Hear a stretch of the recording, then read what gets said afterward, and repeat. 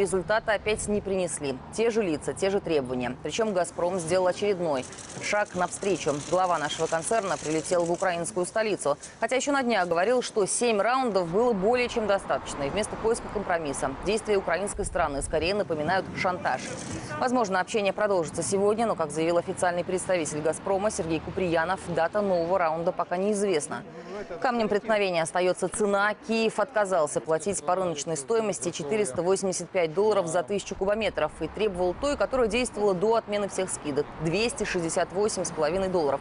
«Газпром» пошел на послабление и заявил о готовности снизить цифру до 385. Еврокомиссия посчитала ее справедливой, но Украина продолжает стоять на своем, требуя еще и снять запрет на перепродажу российского газа.